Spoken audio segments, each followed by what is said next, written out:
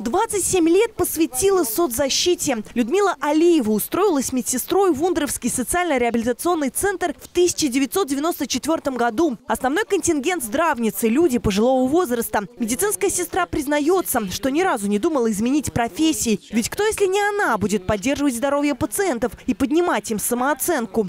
Очень много приходится общаться с людьми, очень э, много познаешь для себя, узнаешь людей, помогаешь им, ну, поднимаешь их, немножко как бы самооценку э, за счет того, что помогаешь выздоравливать, забывая, забывают они о своих заболеваниях. За многолетний труд и заслуги в социально-трудовой сфере Людмиле Алиевой вручили почетную грамоту. Награду медсестра и еще несколько отличников отрасли получили из рук губернатора Алексея Русских во время расширенного заседания коллегии профильного министерства. На совещании подвели итоги работы сферы. В своей приветственной речи глава региона упомянул важность социального кодекса. Документ, который объединит все соцвыплаты области, сейчас находится в разработке. Его планируют обнародовать к июлю. Кодекс, по мнению экспертов, поможет решить сразу сразу несколько задач. Во-первых, объединим разрозненные меры поддержки нуждающимся, устраним дублирование некоторых из них, тем самым повысим их эффективность.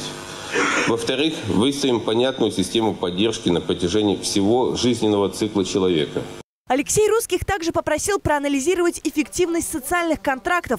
В прошлом году меру поддержки, нацеленную на борьбу с бедностью, получили лишь 70% от годового планового показателя. В 2022 году соцконтракт должны заключить почти 4,5 тысячи жителей. На это выделили 442 миллиона рублей.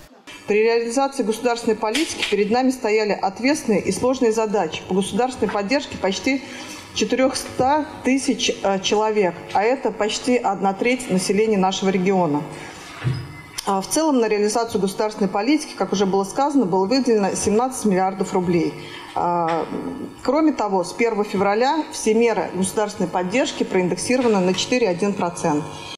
Сейчас в регионе реализуется 39 областных и федеральных мер соцподдержки для семей с детьми. А для поддержки старшего поколения продолжают работать центры долголетия. В Ульяновской области сегодня их 240. Центры систематически посещают 18 тысяч пенсионеров. Рената Алиулова, Юрий Конихин, Улправда ТВ.